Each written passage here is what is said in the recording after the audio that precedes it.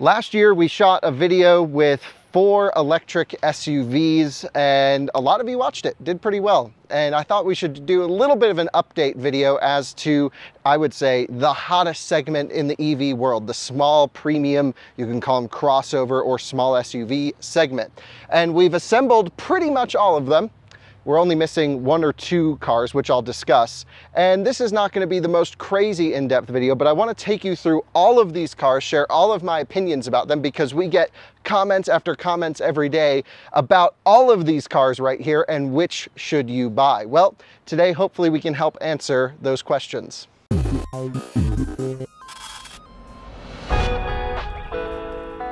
So I think first let's start with the cars that we've assembled. By the way, we came up with this idea at 5.30 p.m. yesterday. It's currently the next morning. So uh, I don't know how we were able to assemble all of these cars, but I'm glad that we did.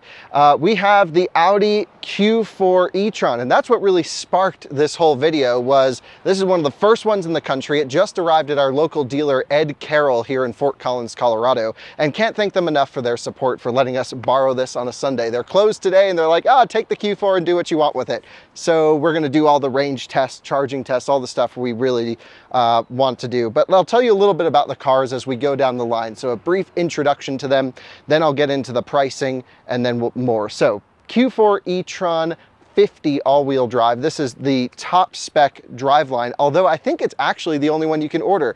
Originally, Audi USA said they're gonna bring the rear-wheel drive version, 150 kilowatt motor, same as ID4. It's built on the same MEB chassis, and it just um, didn't show up on the website recently. So all of the ones that I think are rolling in right now, at least in America, are the big battery all-wheel drive. So it's about a 82 kilowatt hour gross, 77 usable-ish and seemingly a great drivetrain. This one has the newer software. We're gonna do the charging test on it. Should do 135 kilowatt peak.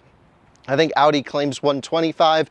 We'll have to play around with it and see. But overall, basically just an ID4 updated styling, but then less basic features. For example, this one doesn't even have adaptive cruise control or massaging seats, all of which well, adaptive cruise control and lane centering are available as standard in ID4. So we got to get into the value stuff later on, but should be a nicer ID4, but you really got to spec it up to get there.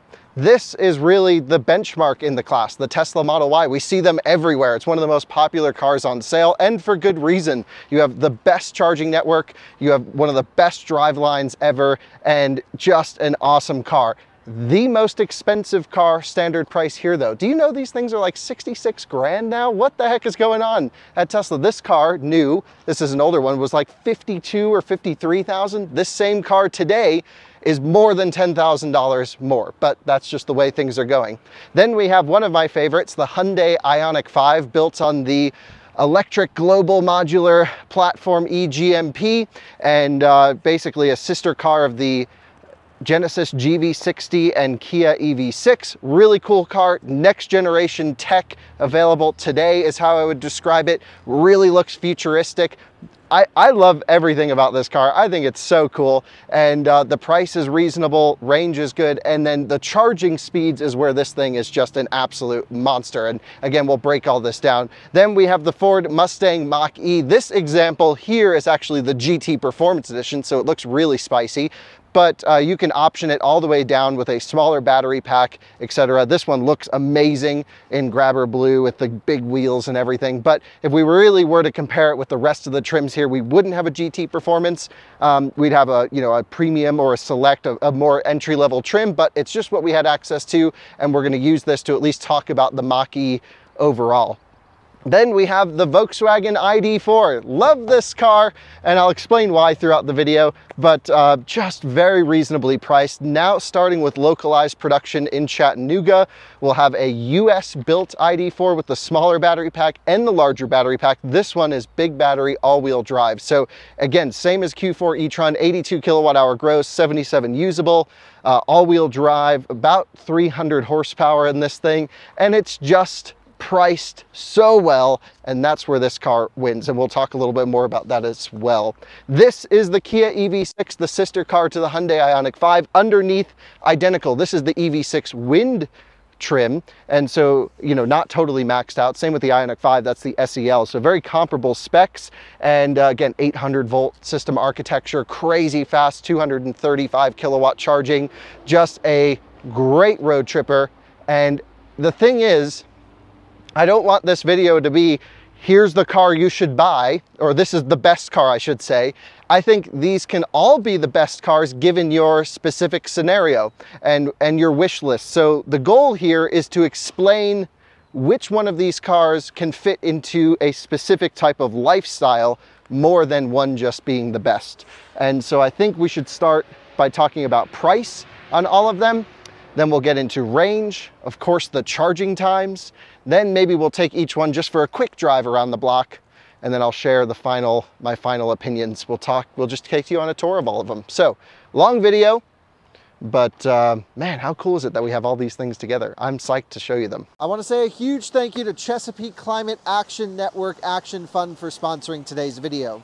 Now we've highlighted this organization all summer and they are doing some incredible work in the fight against climate change they are actually giving away a Tesla Model S Plaid or Model X Plaid, $135,000 worth of Tesla credits, or a Rivian R1T. All you have to do is go to evraffle.org. It's a $200 ticket and that can earn your chance to win one of these vehicles. The cool thing is, is actually they're undersold a little bit too. So they have about 2,000 tickets left to go. They've sold about 3,500. And that means if you want to earn a Tesla Model S Plaid like this one, maybe slightly less damaged, you can go and actually buy a ticket right away. I would suggest doing so. I don't think your odds will ever be better in winning a Tesla Model S or X Plaid or a Rivian R1T. By the way, the Rivian R1T is actually in their garage and ready for immediate delivery. So head to evraffle.org. Thanks to Chesapeake Climate Action Network Action Fund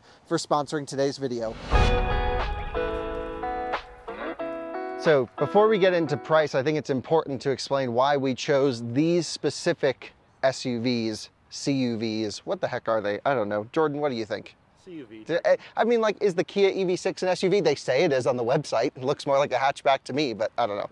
That's just, we're blending the lines of vehicle classes these days. I've, I've opened up my phone here because I want to at least mention a few different things.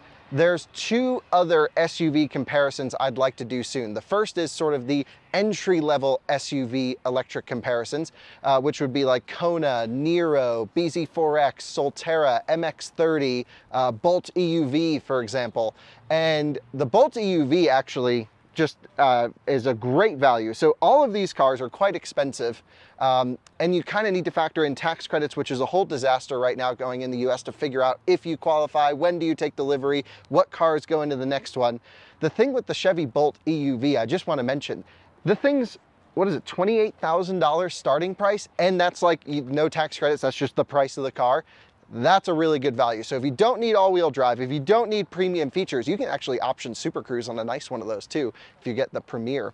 Uh, that's just like right off the bat, price-wise, I would consider that. This is really the next level up in terms of fit and finish and quality. The other video I would like to do is sort of the luxury SUVs. We're talking I-Pace, Model X, BMW iX, and full-size e-tron. Um, those used are starting to creep into these new price range. Uh, and that could be an interesting scenario as well. If you're looking at, for example, we bought a used Audi e-tron full size, which is, uh, it's a bit more expensive than these still, but you're not too far off and that it might be a great option for you as well. Um, other notable mentions of three cars we couldn't get today in this lineup, and they're all built on Volvo's CMA platform. XC40 Recharge, C40, and Polestar 2. Those are, um, I think, very worthy competitors here. Again, we couldn't get those cars just in time. We tried, we called everyone we knew with these things, just couldn't get one. XC40 Recharge really would have been my preference to have in this lineup, and I think it would have done very well. And I think I'll start off the bat. It's quite expensive. It's in the mid to high 50s, 58,000, maybe 60 grand if you get the nice one. 400 horsepower, 78 kilowatt hour battery pack, very inefficient, only 225-ish miles of range in our testing. So good option, Swede speed, rips, but um, yeah, definitely a, a very worthy competitor here. It's not the best charging and it's not the fastest, or I should say the most efficient car, but it is quite fast. So let's walk down the line. And I think we should start at the least expensive car and work our way up. What do you think, Jordan?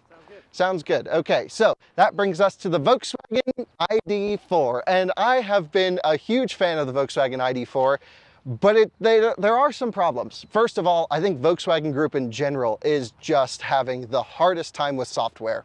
What is going on over there with Cariad? I don't know. Diess is leaving. Oliver Blume's coming in it's kind of a disaster over at Volkswagen Group when it comes to software, and this car sort of embodies that. Early on, they were buggy.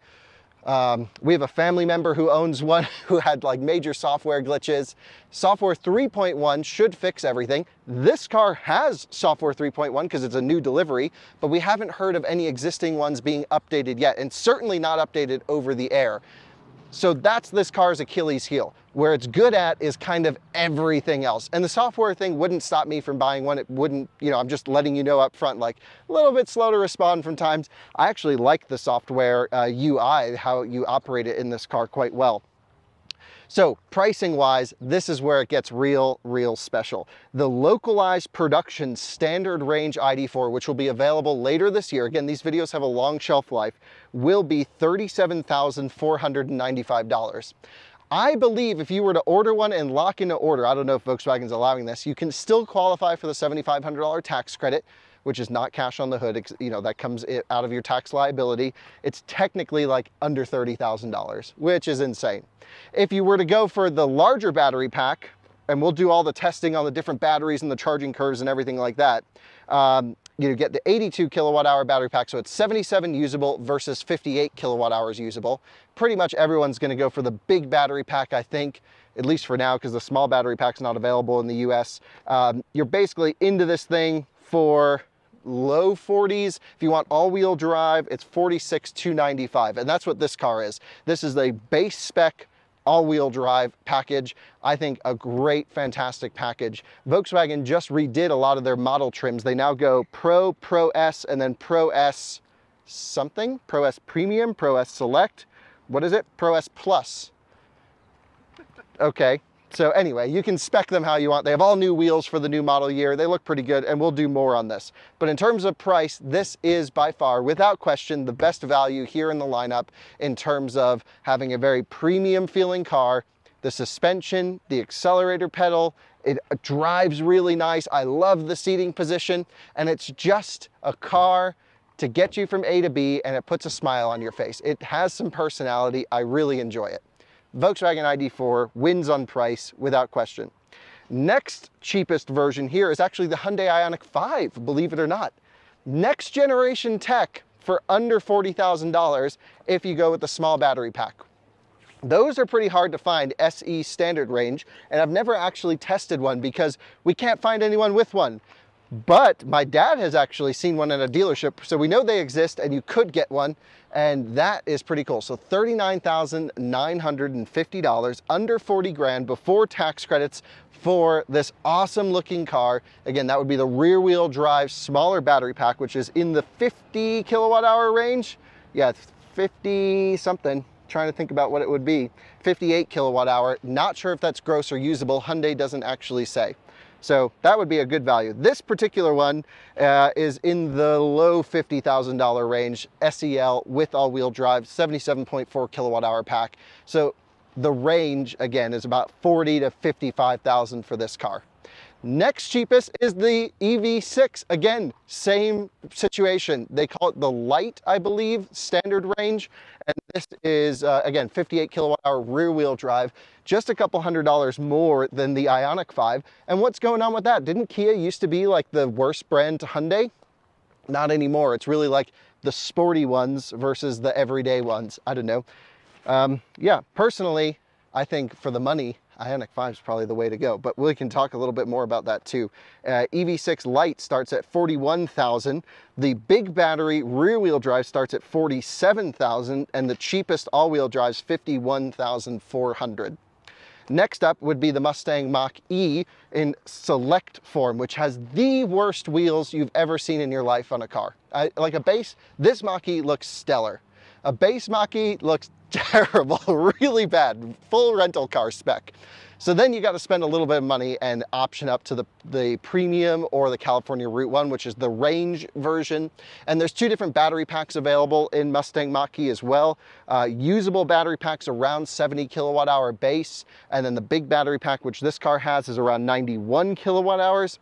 And um, but what Mach-E wins on though is total range. This car with the standard battery pack has almost the same range as this Ioniq 5 all-wheel drive with the big battery. So 247 miles EPA standard battery pack, that's pretty impressive. And these things do have great range. So if range is really important to you, it would be fun to do a range test with it. I bet the Mach-E goes the farthest out of any of these here, so that could be a thing.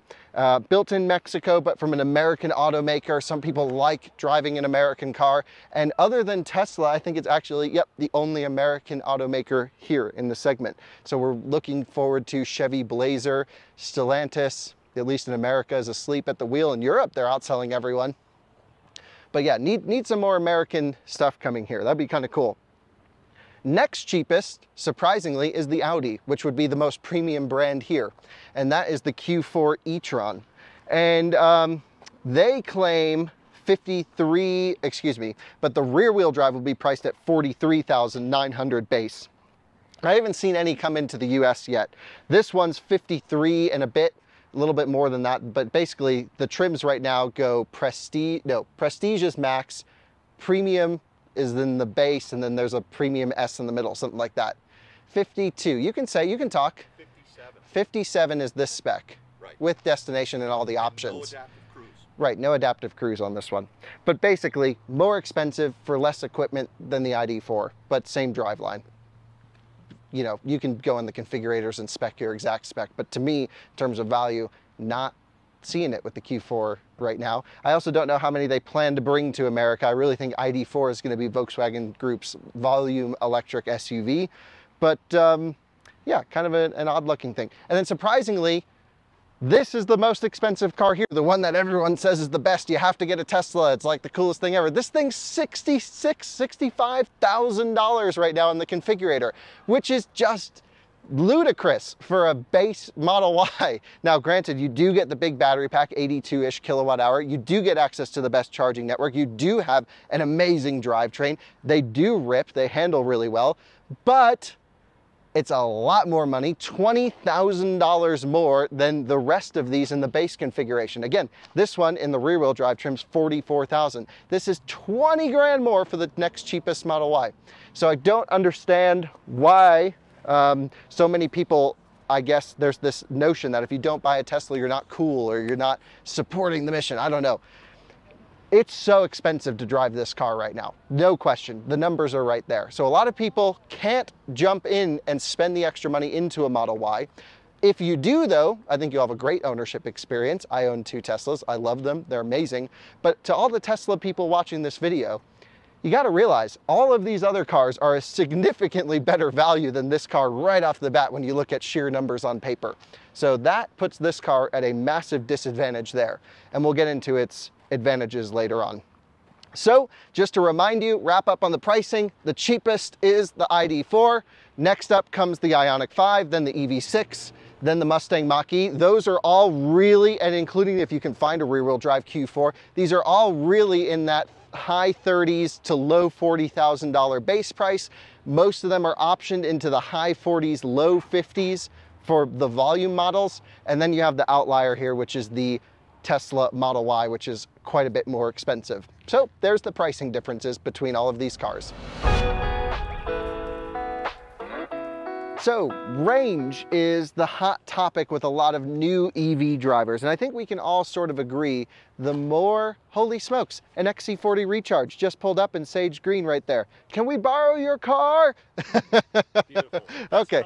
Okay, anyway, that's the least amount of range anyway. It's 223 miles EPA. Um, so yeah, we can use an XC40 Recharge. We'll just have to really zoom in. so here's the deal. Um, range to a lot of new EV owners is the hot topic. As soon as you live with one for like a couple weeks, you go like, oh, everything's got more than enough range. As long as you can go a couple hundred miles usable in all conditions and find charging stations along your long route, then that's great. For me, certain people, range is a really hot topic, which is why we're talking about it. But just, I think if you're a prospective EV buyer, 99% of trips of people that I know are typically around town, daily driving, and then they go on a long trip once in a while. And that's when like usually two in the US, two or 300 miles is like one of the many legs of the trip you're going to do. And so it's all about recharging time and things like that. So um, total range, not the hottest topic for me anymore, but for a lot of people, you need it to feel confident. And if you look at numbers on paper, the Tesla Model Y has the highest range out of all of these cars uh, with 330 miles in this configuration. Big battery, aero wheels. If you get the big wheels on Model Y, it drops the EPA down to, I think, 318 miles. And then the performance I think is just about 303 miles. So again, each configuration will be a little different. We're talking maximum range you can configure all these cars in in the American market under the EPA cycle, and Tesla's rated at 330 miles. That doesn't necessarily mean that in the real world this will go the farthest compared to Mustang Mach-E, which is the next at 314 miles in the California Route 1. That would be an interesting range test is to run both cars side by side. Again, the range testing can be done in a few different ways. There's a few different test methods, and that means that there's room for variability. So the number that the advert, the, excuse me, the number that the automakers have to advertise, they put on the label, they put on their website, is an independent test done by laboratories or sometimes by automakers, but submitted to the government for final approval with their test data through the EPA. It doesn't necessarily represent all cars in the same conditions going the same distance. There's a two cycle, there's a three cycle that goes to 50% where they offboard drain the battery. I know getting really complicated. And then there's a five cycle and each of these cars have been driven a little bit differently in these cycles. So highest number on paper not sure that translates to the real world. We can do that test at some point. Next up is, of course, 314 miles EPA in the Mustang Mach-E. That I truly believe uh, is more real world uh, of an application because Mach-E's, every time I drive them,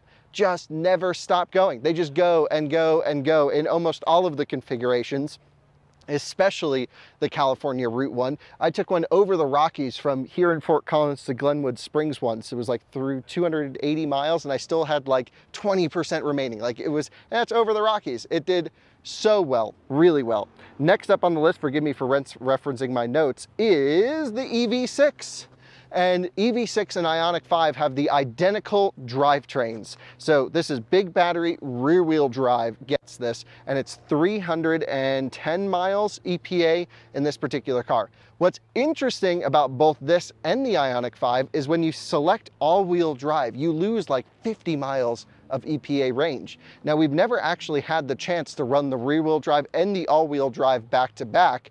I bet in the real world it's not that big of a difference. You see, what's kind of cool is in the all-wheel drive trims, they'll physically disconnect the front motor with a clutch disconnect to give you the same, basically same drive line as just the rear wheel drive cars.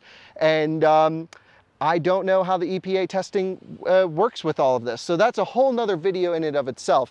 At least numbers on paper, the rear wheel drives go really far. The all wheel drive cars are in that 250-ish, 256 miles, somewhere around there, EPA range. So a massive drop for all wheel drive. And I promise we'll get to the test one day to prove if that's actually true in the real world. Then the Ioniq 5 is the next longest range at 303 miles EPA. The reason I think that this is a little bit less than the EV6 with the same driveline is just the shape. The aerodynamic profile takes a little bit of a toll on this, a little bit different wheels, but it's a much taller car. It's pushing a lot more air out of the way. And we've even found in our own testing for that to be true. Same test loop, this goes a little bit less far than the EV6 uh, all-wheel drive did. Next up, surprisingly, Volkswagen ID4. This was just updated for this year, so they did some adaptations, some changes, and so now it's 275 miles in the EPA cycle. That's pretty good. Uh, that's for the again the big battery rear wheel drive. Maybe you're getting a theme. The less motors you have, the longer range it goes. The only one who's proven that wrong is Tesla because their all wheel drive one is the farthest one. So you know, that's kind of interesting. But 275 miles in the 77 kilowatt hour usable pack with the 150 kilowatt rear motor.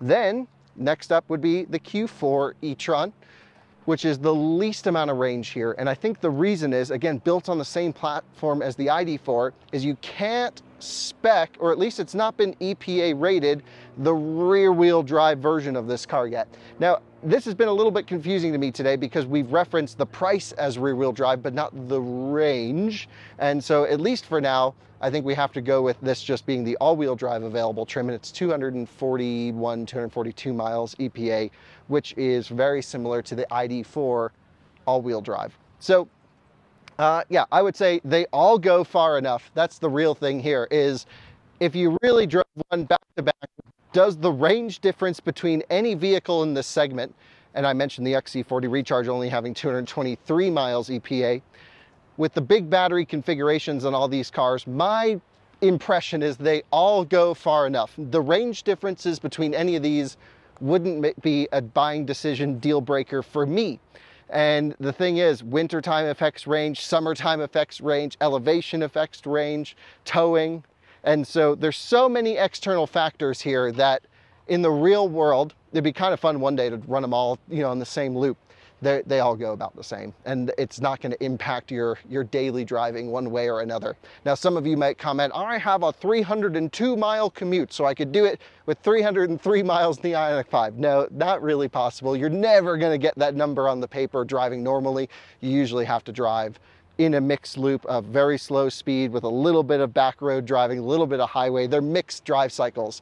And so, yeah, range isn't going to make the, the buying difference, buying decision difference to me. But I'll tell you what will, and that's charging. This is where the cars really show who's going to basically win this thing or not, in my opinion. And that is really only if you're going on long trips. Again, most people will drive around their town, around their home, commuting to their office 99% of the time. And maybe two or three times a year, you'll go on a trip probably not cross country, probably just a few hundred miles here or there. So then charging doesn't even really matter because all of these cars charge fast enough to do the occasional trip. I know some of you are like me, which means you just spend all of your time in the car, driving cross country, doing big trips at DC chargers all the time. And that's where included charging plans come into play. And that's where charging speeds come into play. So I'm gonna walk you down the line and explain the charging strategy for each of these. And one notably has a huge advantage as to the networks they can use. You join me over here at the big red Model Y. And this is where this car just hands down wins every time is charging. Tesla has just built the most amazing charging network. They deserve all the credit for it. And um, they've built these superchargers all across the country, all across the world. And I, have been using them for a long time. I've been using the public charging networks for a long time. And by far, the supercharger network is the most robust, the easiest to use, the nicest connector, the quickest to start charging. And this is the only car today that can take advantage of it in our market. Now, just a little bit of background. In Europe, Tesla's actually opening up the supercharger slowly at select stations for others to use. And I have a whole video on that. And it is pretty seamless and it's great. And that takes the Tesla advantage away a little bit. But at least for today, in summer of 2022, we can't use Tesla superchargers with anything other than a Tesla. And that means that if you're gonna be doing a lot of road trips, if you don't have home charging and you have to rely on public infrastructure, this will be the most seamless experience without question. I don't think anyone could argue that. You roll up to a supercharger, the car warms up the battery pack, so you get the fastest charging with battery preconditioning. It tells you where to go. If the supercharger's full, by the way, it'll even route you to another one that's less full because it knows how many people are there. You back into the supercharger, you plug it in, and you walk away. So it has everything you need. You need on-route battery preconditioning. You need really good route planning, and this does the best. It tells you where to go. It not only tells you where to go on your trip, but again, factors in the use times of the chargers. And then it has plug-in charge where it just bills your credit card by charging. So great. In terms of charging speed, 250 kilowatt max. It's not always just about the peak number, it's about the curve. And that's where this car isn't so great. It can only do 250 kilowatts from roughly 5% to 30, 35% at the highest, and then it starts to come off of its peak. So in order to optimize your charging times, you really have to run this thing all the way out, all the way down. And that's what Tesla recommends. The car will help you get there too with on with the route planning. It gets you to superchargers pretty low. Um, but you're not going to get that great fast charging up top, unlike the Ioniq 5. But I just thought it was a, a real key distinction that some people will just have to buy the Tesla purely because of the charging network. Another key advantage to the Model Y is you can actually use the public networks as well. CCS adapters are currently available in the aftermarket. Tesla should be offering it factory, but I have one personally, and it's really the key vehicle to uh, go on trips with because you can use all of the Electrify America stations, all of the ChargePoint, all the EVgos, and all of the superchargers. And it's actually become a little bit handy because I was driving through Las Vegas on a trip recently in, in a Model S, and all of the superchargers were full, and I used my CCS adapter at a CCS station and Electrify America station. I took the last spot there. No one was waiting, so I didn't block anyone and got 210 kilowatts rather than waiting in line with a Tesla. That is the problem with all of these cars. It's not unique to Tesla. The, the number of EVs being sold is not matching the number of charging stations being built and lines are starting to form and it's really a massive problem. So this by far easiest charging experience, not the fastest, but the easiest. Let's talk about the Ioniq 5 because this is this and the EV6 are pretty much the same. The only difference comes with their free charging plans, the included charging, but this is really the charging monster here. If you're comfortable using the public charging networks, which are a little bit more cumbersome, aren't as reliable, and there aren't as many of them as superchargers, then this is the car for you. And actually, it's probably the car I would choose in terms of a road trip and charging because this is just an absolute animal when it comes to charging. 235 kilowatt peak. I think I've seen actually 242 kilowatts delivered to it max really rips the speed. Uh, 10 to 80% Hyundai claims in 18 minutes. We've been able to match that many times.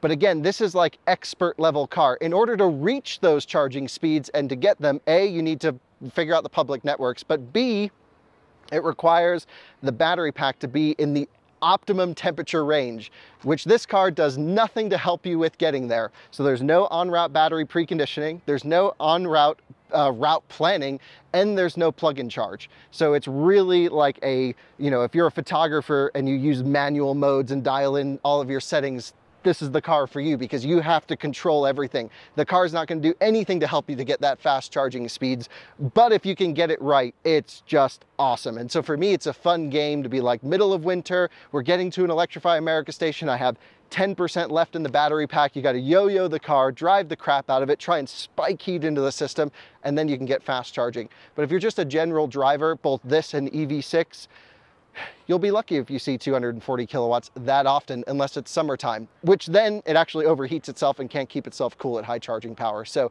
again, the fastest charging car here, but requires a bit of a manual mode.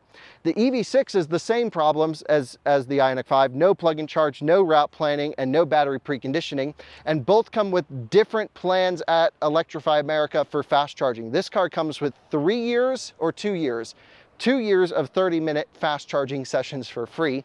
Very rarely will you ever be at one for more than 30 minutes unless it's middle of winter when they charge really slow and you didn't warm up the battery pack. Um, and then you can just unplug and plug back in is my understanding and get, get another session which I believe is how it works. I think they want you to wait an hour, but I'm pretty sure it works if you just unplug and plug in. That's not me giving you advice to do that. That's just me letting you know that it works. Um, and so so this is the cheapest EV here in terms of uh, fast charging in the fast charging category. I don't actually remember what the EV6 gives you. 1,000 kilowatt hours. Oh, really? So it gives you one megawatt hour. so that you'll burn through that in like a weekend on a road trip. So I, I mean, that's like $250 worth of free electricity in the EV6. Rather than a time limitation, they give you one megawatt hour of free electricity. So that's, you know, at least 12 or 13 charging sessions, deep charging sessions. For most people, that will last years if you don't road trip very often. My dad wanted me to mention that the GV60 gets three years of 30 minute sessions, right dad? Yes, sir. Okay, same as Ioniq 5. No, That's two years. Oh, two years. GV60's three years. Nice. Same as ID4 then. so since we're talking ID4, let's talk Mustang Mach-E. Mustang Mach-E is the next fastest charging EV, and it has a very weird charging strategy, but it works. First of all, it does great route planning, Mustang Mach-E. It's good for the novice driver. Now, when I get in this car and I'm a nerd and I wanna optimize everything, I ignore it and I run this battery all the way out. But if you own a Mustang Mach-E, it's gonna get you to the stations with enough charge buffer, then when you get to the station, it'll be the Tesla experience. You roll up to Electrify America, you plug it in and you walk away and there's plug-in charge. Except you're never gonna do that because when you use plug-in charge on the Mustang Mach-E, you get billed at the rack rate for electricity, which is like 42, 43 cents per kilowatt hour. In order to get the Pass Plus membership, by the way, I think Ford gives you 250 kilowatt hours for free in this car, which you burn through in a weekend, doesn't really matter. Um, the thing is, when you want to use plug-in charge, there's no way to link up your Electrify America Pass Plus, which every EV driver should have, in my opinion. One charging session a month pays for itself. It's $4 per month. You buy down your electricity to 31, 32 cents a kilowatt hour. And it's impossible today, and for the last year and a half, Mustang Mach-E's been on sale, to link that with your plug-in charge account. So even though this car is capable of it, you'll never use it because why spend an extra sometimes $20 a charging session when you can just swipe on your app. It's really not that hard, but we're getting there. This is the Volkswagen ID4, and it's the same as the Q4 e-tron. I don't know what the Q4 e-tron's free charging plan is, but I'm pretty sure it's comparable. This will give you three years of 30-minute free DC fast charging. You will likely stay at charging stations more than 30 minutes of, in this car if you do deep charges. And its peak charging rate is the lowest here whereas this car does 240 kilowatts and it holds it, by the way, all the way to basically 70, 75%. This thing rips the charging. This will peak at 135 kilowatts on the new software for the US market and it tapers at like 40%. So not the fastest DC fast charger. I would say this is probably the slowest acceptable DC fast charging profile on the market today. It's still totally doable. I would still recommend the car. If you do a ton of road tripping though, spend a little bit more money, get an EV6 and just manual mode it and you'll be great. No amazing route planning in this car. It's better on the newer software, but from what I've been playing around with, it's not perfect.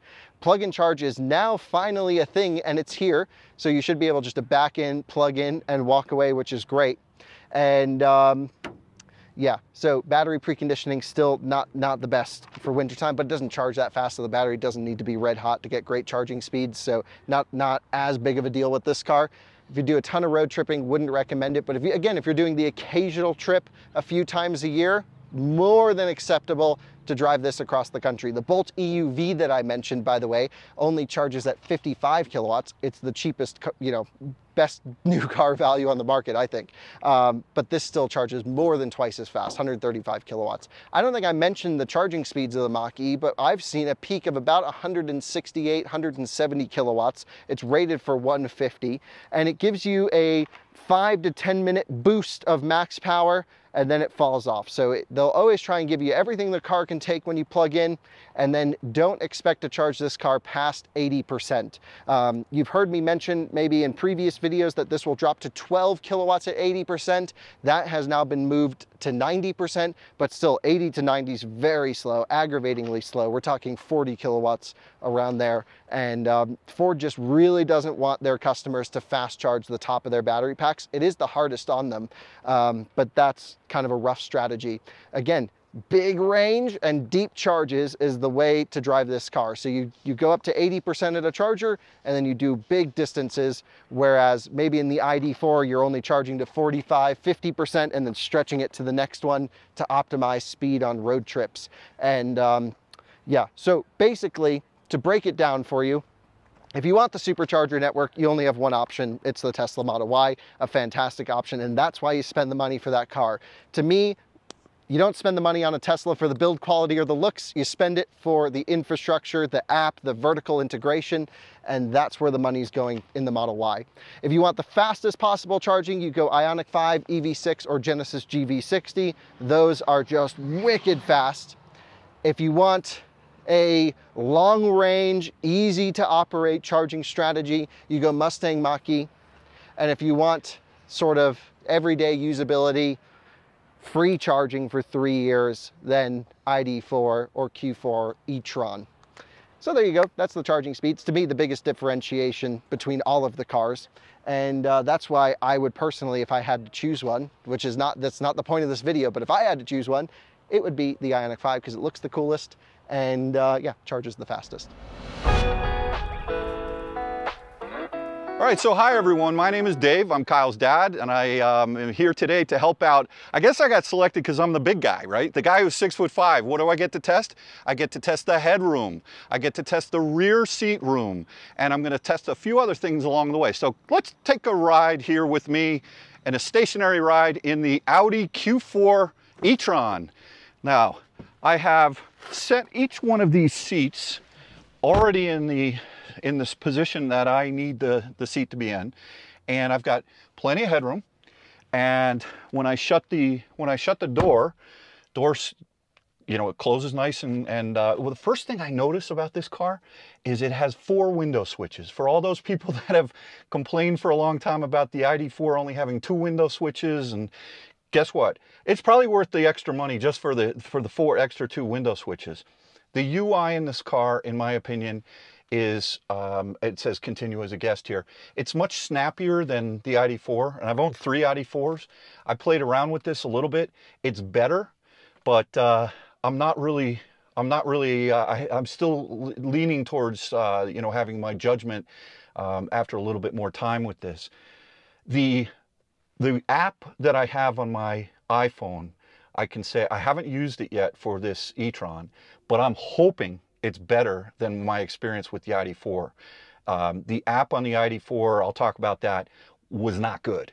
So um, a couple things that are interesting to me about this car. This is a $57,000 car list and it's a base car and it doesn't have power tilt and telescopic. Not a big deal if you're the single driver, but if you're gonna have memory seats and you're gonna have two or three drivers in the household, you're gonna have to adjust the steering wheel every single time you get in and out of the car. So let me jump into the back seat and see how the headroom or legroom is here. Remember, I'm 6'5", and I'm, and I'm leaving the, the seat right where it is. And, uh, okay. Uh, ow. Okay, that hurt, actually. There's a cup holder back here, which is kind of nice. Um, headroom, I'm wedged. Literally, if I sit up straight, it's not good. This seat does not angle back at all. I'm a little wide as well. I know that's a different topic, but um, look, you know, this is an extreme example. I'm six foot five sitting in the back here. If I, if this were an Uber picking me up and I had my Uber driver as six five, he wouldn't get a tip. I, I'm here, but it's not great. Let's jump to the next car. All right, so Model Y. Love the car. We've owned Model 3s, Model Ys, Teslas, they're great. I do not like the door handles on the Model 3s and Ys. I will say that. Uh, I, I sit up a little high in this car, uh, but I will say that the glass roof comes very far forward. It has a very open feel and you know, of course, obviously this is this is the minimalist dream for the UI. Um, arguably, if you're okay not having buttons, nothing better. The whole fact that you don't have anything in front of you, um, there's no heads-up display in this car. Uh, that you know, you got to look over here in the top left of the. I, you get used to it. You really do. No big deal. Don't overthink it. Um, the steering wheel does go up and down, in and out. You have to use these buttons to do that. So, um, you know, as far as sitting in the car, you got four window switches, plenty of room. You do sit a little higher. I like to snuggle down when I sit in a, in a seat. Um, you know that when you sit in a Range Rover, you sit up high because you can look over and you get all the sight lines. This car, the seat just doesn't, it doesn't go low enough for me.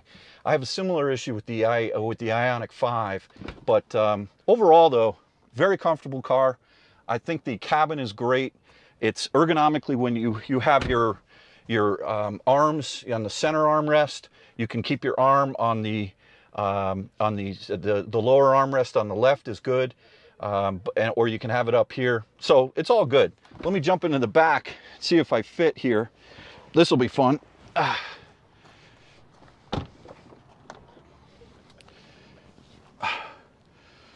Okay.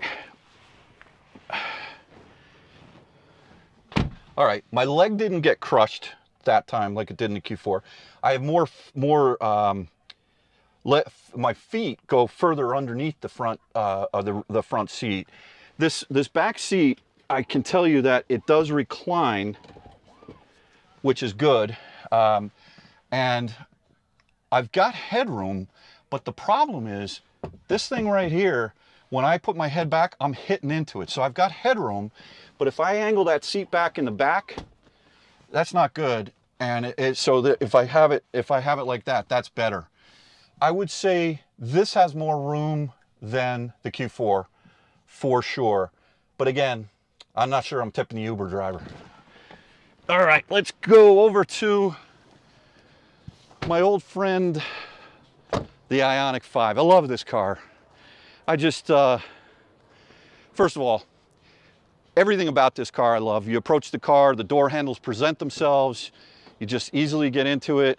Um, now this model here is an SEL, which means that it does not have a glass roof, but I can tell you because I had a limited, uh, the glass roof, it comes relatively far forward, but not as far forward as in the Model Y. Um, armrest is great on the left, armrest is great on the right. The user interface, I love, absolutely love this car. Um, both the uh, Q4 and the ID4 and the all the EGMP platform cars support Apple CarPlay. And I love Apple CarPlay. I love it for Waze, I love it for my music, Spotify, and all those things. Um, you don't get Apple CarPlay in a Tesla, so not great. Um, even on the limited trim, you have manual up and down with the steering wheel. There's nothing um, that is power. I will say though, on the GV60, had to throw that in. Sorry, Kyle. Um, you do get a power steering wheel in and out, which is great again for memory seats. Uh, I think that's a tremendous thing. But this is a, this is a great place to spend time. Uh, the the user interface is excellent. It has a nice combination of buttons and switches.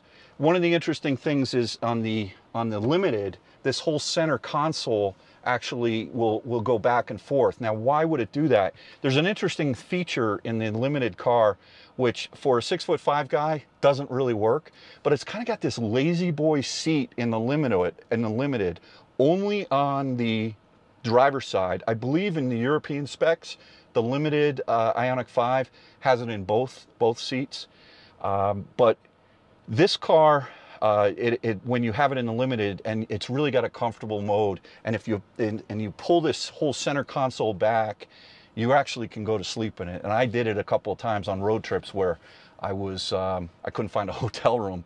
And i'm not going to say i would recommend doing that but it was pretty comfortable. So let's see. Let me jump in the back.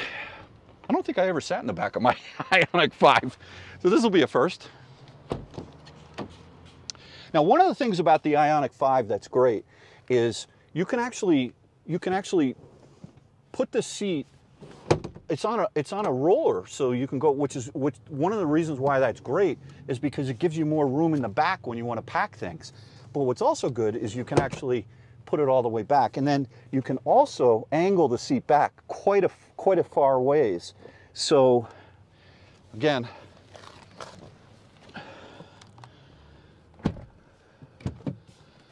Now, honestly, I've, I don't think I ever sat in the back seat. This works. This, I mean, seriously, I'm surprised. Another nice feature on the uh, the Ioniq 5, I, I can't remember on the Y. There's rear air conditioning. I believe that it is on the Y. I can't. I don't remember if it's on the ID4. It is on the ID4 and the Q4 in the center console. Y The Y has it in the center. But you know what's nice about these EGMP platform cars is they have the they have the AC on the B pillars, which is great if you have a dog. They're a little higher up, and um, and that works. So, did I miss anything here? I don't think so.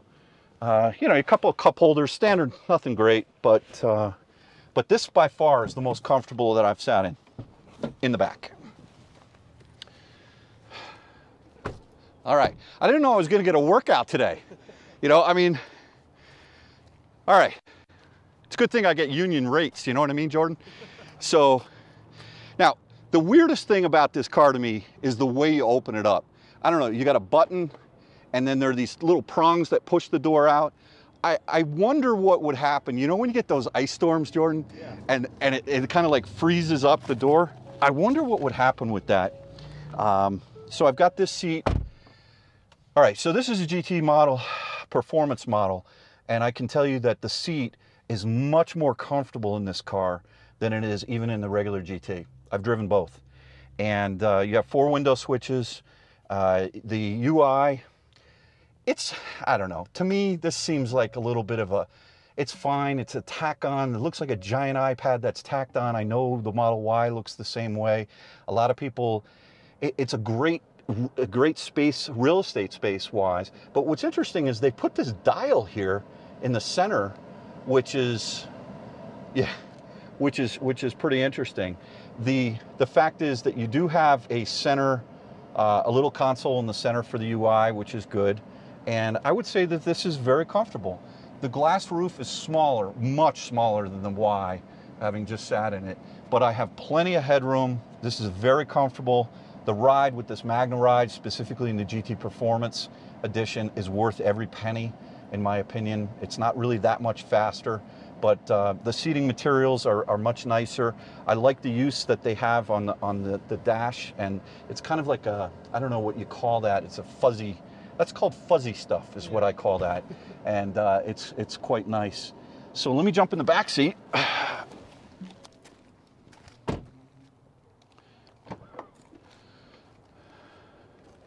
All right, now this looks like it's gonna be, uh, all right, I'm in. Okay, my knee and leg, I might need surgery. I, I don't know.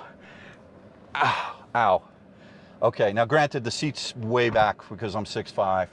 Um, headroom, but only up to a point where I am smacking my head into the back of this thing. Headrest is nowhere to be found. I don't know if this seat reclines or not. It doesn't go forward or back. I would say, I don't know, not great back here. I think I would pay the Uber fare, but not tip for sure. Um, this is tight. Yeah, the glass roof stops where the Model Y it continues. The Model Y continues back, but I'm in, a, in an accident. I think this is dangerous. Now, if I slide forward, if I slide my butt forward, and I shut the door, I'm really going to injure my legs. Like no joke. It's going to pinch between the seat and the door, and that would that would not be good. So um, I would give this maybe a C minus in the back seat. Uh, the ID4 I've never driven one of these before. I've owned three of them. This is an all-wheel drive Pro, not an S, which means there's no glass roof. Uh, love these ID4s. And I also hate these ID4s. Hate's probably the wrong word, but there's a few things that I think uh, leave a lot to be desired. The first is the UI. It's glitchy, it's slow. Maybe the newer versions have, have, have actually been delivering. But the, the app on the phone, I can tell you that 50% of the time, you, when I would try to warm up my car in the wintertime, it would just not work. It would fail to connect. Tesla, the app is just insanely good. Everything just works with that every single time. Now I can tell you, I, we just recently got the GV60. The Ioniq 5, it worked every time. The GV60, it works every time. You can do things like turn on the heated seat, turn on the heating steering wheel. The ID4, they need to get their software guys talking the same language. I do kind of like the, the uh, I remember this now going back, it's kind of like the, ID, the i3, you know, I love that, that the way of putting the car in gear. Um, this, the, I read somewhere recently that I'm a big guy, 6'5", I'm kind of wide when we would go on road trips, my wife and I in this car, uh, I would put my, my arm not on this center, this, this armrest. One thing you can actually raise it and lower it at different heights, but there's nothing in between. And so I would always end up putting my, my, my right arm over on the on Kathy's, uh, my wife's uh, armrest, and and I, I read somewhere that the 2023s or maybe the cars that are coming out of Chattanooga, they've they've actually changed this now, which I think was is a good is a good move. The steering up and down, even on the uh, the S model, I can tell you that the, the glass roof in the in the S is um, is quite nice. I can't remember how far forward it goes, but it wasn't anything to write home about. Um, this is the problem you get two window switches in this car. And I know it's a stupid thing, but if you hit that rear button and then you push down, you're gonna you're gonna put down the rear window. I mean, what was what was the engine? Who at Volkswagen said we can save money by only having two window switches? I, I just don't understand that. Put four window switches in it, please. Maybe they did for the 2023s. Um, I know a lot of people complain about the piano black. I know it's there's a lot of piano black even in the Q4 e-tron as well. It kind of looks cheap to me. Some people like it, some people don't like it. Um, the UI relies very heavily on haptic buttons in this car. One of the things that I found, um, actually, I don't know if dangerous is the right word, but you see the set button right over here? Um, you, you know, one thing that is nice is that when you are using the ADAS system in this car, instead of it having a torque sensor on the wheel, it is haptic. So all it has to know is that your hands are on the wheel. You can just squeeze the wheel a little bit and it senses you. But if you touch this button here, which is not a real button, it's actually haptic, that will set the cruise control. And, and it happened to me a couple times and I didn't realize that it actually, the cruise control was on. And I was just, you know, and all of a sudden the car just started to accelerate. Now the good news is that the ID4, even in the base trim, uh, it, it, comes with a, a, large array of safety features, including lane keeping, uh, highway driving, and it's pretty good. It's more of an assist than the Tesla system, and I would say that the uh, EGMP platform cars are better in terms of when you get into some real tight turns and things like that. But, um, but the base model ID4 comes with adaptive cruise, and lane keeping. And I just looked at the sticker on that Q4 e-tron, which is 57 grand, and that thing does not come with adaptive cruise or lane keeping. I may be wrong, check that, but if that's the case, I think that's that's unacceptable for a brand like Audi to come out with a car that you have to pay to get adaptive cruise. In 2022, are you kidding me? Let me jump in the back seat here.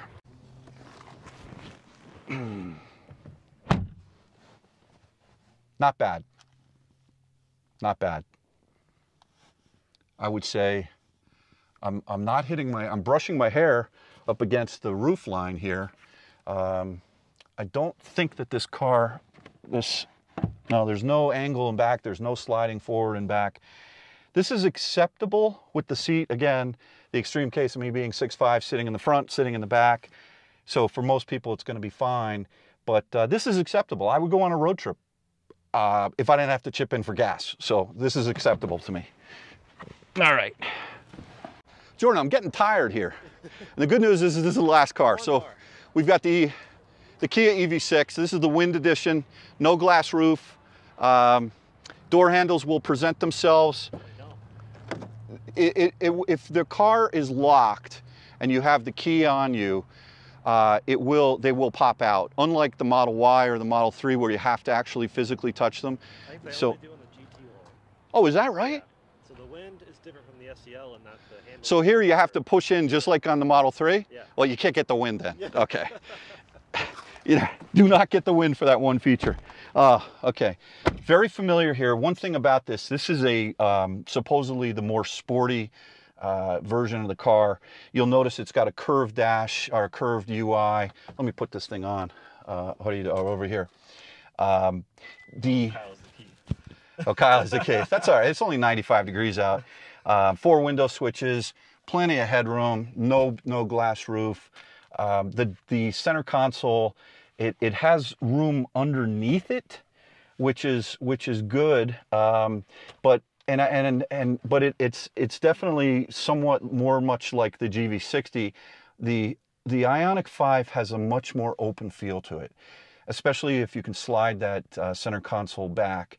Not that there's anything wrong with this. This is just a different feel. It's amazing that one company on the skateboard platform has been able to come up with three completely different look cars and also the interiors are completely different. The use of materials in the wind, it's good. It looks okay. I mean, nothing great. I've seen the GT line as well. It's much nicer. The seats are nicer in the GT line. Although I like these headrests. They're, they're pretty cool. Although they, they kind of make me think I'm at the dentist, which scares me a little bit. So I, I don't know, maybe that's just me. What did I miss here? UI, it's the same as the same as the Ioniq 5. But you get USB-C in this car, not in the Ioniq Yeah, 5. you know, okay. All right, so everybody, you know what? Whoever buys an Ioniq 5 that needs a USB-C, write me an email. I'll, I'll buy you a $4 adapter, all right? All right. Oh, oh. Ah, okay, my feet don't don't really even go underneath the front seat and I have no headroom. I mean, like seriously, bad. Now hold on.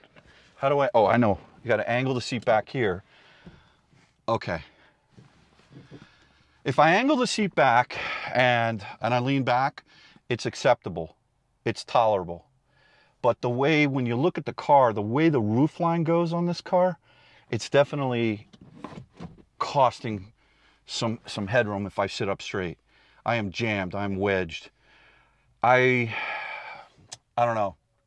I like the fact that you can actually, can you, so the Ioniq 5 is the only one that you can actually move the seat forward and back. I understand why you can't do that in GV60 because you got a four, four, four or five inch shorter wheelbase.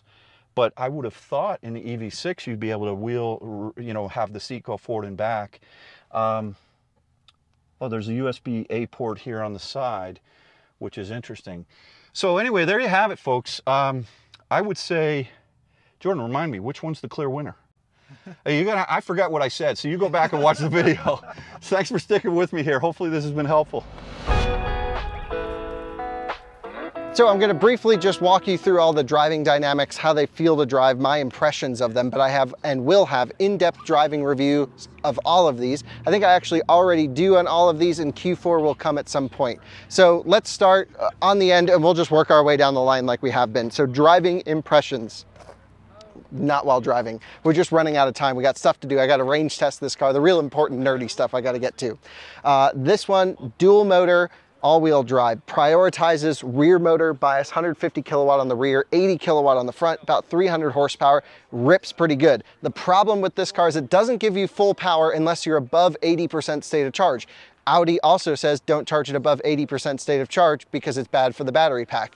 So it's like, to get most performance, you have to full charge it, which is hard on the battery, and it, I think it's a conflict of stuff going on here. Um, but in terms of, of ride, very soft ride, um, pretty refined, not quite full-size e-tron, not even close. Uh, the brake pedal's very squishy in this car, it does a blend of regen into friction braking, but overall I'd say it's a very German drive. You go up a back road, it's soft, but it's very composed, and you can certainly have some fun in this car. It will rotate on power, you can slide it around, like the, all the dynamics, if I were to list them out, all really good things, but again, it's a little bit soft and squishy, but honestly, it drives identically to ID4. There's not much difference there. Model Y, my biggest problem with this car is it's so harsh. This thing is bumpy. You hit the bumps and you feel them. I don't know why they have to be so stiff, especially in the dual motor configuration. It's also only a $4,000 upcharge to get the performance. And if you're already in for 65, just go up and get a Model Y performance. But then you get these huge wheels that I don't love. So I would get a Model Y performance and then put Martian wheels on it. Um, if the price differential was any bigger though, there's not real much of a need for the more power and the performance. The dual motor, plenty fast, great steering in this car from a performance standpoint. This is probably the most composed out of all of these, I would say, actually, even including that the Mach-E is the GT Performance. This to me is the best driving car from a fun perspective and just being actually a pretty quick car. For daily driving, a little bit too stiff, steering's way too quick, and I actually don't prefer to drive this car daily. The car that I would probably prefer to drive every day would either be the Audi or the Volkswagen. I just love the way those, that suspension's calibrated.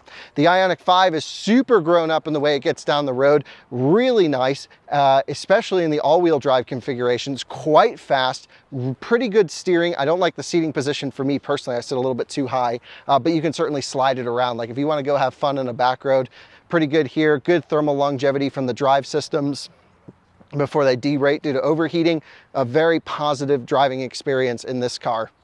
Mustang Mach-E GT Performance Edition, awesome. But again, this one's really expensive. I think if you go for lower trims of the Mach-E, it's arguably the worst, at least in my impression. It's very slidey, very oversteery, very like bicycle tires. That's how they get the range on the thing. Uh, and it's just not composed. Uh, but when you jump up to the Mach-E GT Performance with magnetic ride control, with these Meteor tires on it, this thing's actually really awesome on a back road. I have a whole video review of this and the extended range all-wheel drive, and you'll just see the total difference of my impressions. I'm just having a blast in this car. It's truly quick, and um, but not the best thermal longevity from the drive performance when we're talking for real track use or hard canyon blasting. Overall though, I think most people won't run into these issues. If you go for a max out trim, totally fine. The standard car, super bouncy in the rear end, just not controlled. And my impression is it's actually kind of aggravating to drive a standard Mach-E around. The ID4, similar to Q4 e-tron, soft, squishy, competent, but everything feels intended. Everything you do with this car is like, yep, some German dude spent way too long making this feel right. And that's the impression I get every time I drive this car. It's the, like the inputs are great. My only issue with this entire car, same with Q4, is the brake pedal. Just don't like the braking feel. I think they really messed up how the brakes should feel in that car. An EV6 is just like Ioniq 5, but even a little bit more fun, a little bit more sporty. And now you can get the EV6 GT that just shreds. My mom drives a GV60 Performance with drift mode and all that stuff, same platform, and same as EV6 GT, and just seems like an absolute shredder. So I would say for daily driving, for comfort, for around town use, if I didn't have to DC charge very much, I'd go ID4 personally. I don't think I'd spend the extra money for the e-tron. Uh, and then if I wanted to go up and have a blast on a back road, probably the Model Y. Elon said Model Y should get track mode at some point. It hasn't happened. I really hope it does. I should also mention the XC40 Recharge, which is still over there, um, and say that that car drives great. Amazing thermal longevity from the drivetrain, really fun to toss around, actually like a silent shredder, one of my favorite electric SUVs to drive as well uh, but I think I'd still take the Model Y for a performance backroad blast. And now it's time to wrap up the video with my final thoughts on all of these cars because like I mentioned, there's not a winner that we can objectively say without doing all of the testing and everything. And each one of these cars is better in a different category than others. I would say really the weakest link here would probably be the Q4 e-tron because I don't think that has its own character, its own personality. It's a little too much like ID4. But let me walk you through who I think these cars are for and what I think they're great at. The Model Y is just a clear winner for people who want the best charging infrastructure, the best powertrain control, the best app integration, and honestly, it's an easy buying experience. You buy your Tesla on your phone, it shows up at the dealer, you pick it up, great. Quality issues have been very good on new ones. This one's actually really bad. You can see these panel alignments, this car's not been crashed. Totally off here, totally off here. The trunk doesn't line up on this car. This is two years old now. The new Model Ys that I've seen have been looking great. I'm looking forward to driving an Austin built Model Y soon with the 4680 pack as well that's just like the go-to. It's the benchmark. I think it's still the benchmark. And if you just want the easiest ownership experience, you go Tesla Model Y. I don't think you can argue that. If you want to have I think the coolest looks, sort of this Tron vibe, incredible charging, a lot more space than EV6. If you have a family, you, this is my colleague Zach car. He normally has a roof box on the top.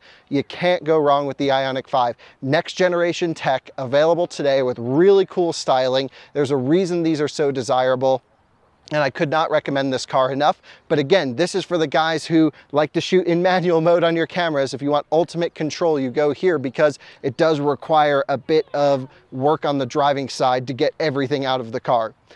The Mustang Mach-E is a clear winner for people who want to drive an American brand that's not a Tesla, to be totally honest. I know so many people that either hate Elon or hate Tesla for whatever reason, and they drive this car. My friend Brian's one of them. He's got a Mach-E because he hates Elon. I'm like, I don't know. I, I separate everything out. I also don't hate Elon. But I think, uh, you know, Mach-E is just an easy choice. It's a big car with plenty of range. So if range is your concern, this might be the way to go. Um, it charges okay, but not great. It drives okay, but not great unless you get the GT Performance Edition. And to me, it's probably the least desirable of all these. I hate to say it, but I think it's the one I would choose last personally, but some other people would choose it first. I'm just totally being honest here. It's got a big front trunk, it's got a big rear trunk. I think Ford chose the right car to electrify. I think putting a Mustang name on it was the right thing to do to cause controversy. I think the car is impressive it just doesn't appeal to me very much. It never has. Um, but I think I can give it an objective review and say it's a great car for certain people who want the big range, big space, and an American car, although it's built in Mexico, but okay. Then you get the ID4, which actually can be built in America. And this is just, I think, the happiest car here. It's got the personality. I think I called it the happiest car on sale when it went on sale, and I still feel that way. You can get cool play and pause buttons as an option in the pedal box you get an amazing options options list uh, as standard, like lane centering, forward collision warning, adaptive cruise control, pretty good. Everything else, the interior is nice, all for like 37 grand and built here in the US. To me, you just can't go wrong with one of these. Certainly it requires a little bit of work on your side to, you know, find the charging stations and do all this stuff. The car's not totally optimized like the Model Y, but um, this one, there's just something so cool about ID4 that I really, really do like. And so I've always liked it. I still like it. And then EV6 is, um, to me, not a consideration because I would just go Ioniq 5. Same thing underneath, little less range, more space. Although I know plenty of people that are just like, this is the better looking car. To me, it's not, um, but it's more styling. It's got a much lower roofline. It's more like a wagon, if you will, than it would be a small SUV. And it's cool. I could never, uh, you know, I see EV6s all the time. I'm like, thumbs up. People love their cars. I love it too. For me, on this chassis, I would go Ioniq 5 personally, but I don't think you can go wrong buying an EV6. And man, you just get great range, especially in rear wheel drive. You get huge charging speed and for some people, great looks. So that's a great option. And the Q4 e-tron is the tough one because it's actually less of a value as ID4. This one's $57,000 as tested and it doesn't even have adaptive cruise control, whereas this does at 37, $20,000 less with more stuff in it. Better sound system in Q4, you get a moving sunroof. It's like an overall, it's a, should be a nicer car, nicer place to be. No massaging seats, you get those in ID4. So for me, unless you're like, you got money and you wanna max out a Q4 e-tron, that makes sense. But to go base e-tron or like a nice ID4, I'd go nice ID4 all day long. You're not gaining anything in terms of range or charging or driving dynamics. And then it's just like, oh, you bought the Audi because it's got more plastic on it and it's an Audi. Some people are just Audi drivers and they would go for it. So again, not a bad car. I just think the ID4 is a significantly better value for the same package. And the ID4's got more space, at least to me, seemingly more space on the inside. So that's who I think the cars are good for. If it was me, if I was buying one of these with my hard-earned money, and I just, you know, what I do, which is a lot of road tripping, things like this, I would consider out of all of these personally, the one that has my heart is just the ID4. I just love driving it. Just drives right. Um, and I wouldn't, you know, let's just say I don't do a ton of road trips. I just charge at home. That's fine. So ID4 has my heart, I think. What do you think, Jordan? What would you go for? EV6? You're an EV6 guy. Ioniq 5. Ioniq 5, really? Okay. That's a very close second. Yeah. But so is the Model Y. And if you're me, then you would just get them all, right? Exactly. Six car solution. Six car solution. okay, well, there you have it. I think you can't go wrong with all of them. They're all really good. They're, it's such a competitive segment. We're just, you know, picking at I don't even know the words anymore. It's hot and we got to film for the rest of the day. So we'll end it there.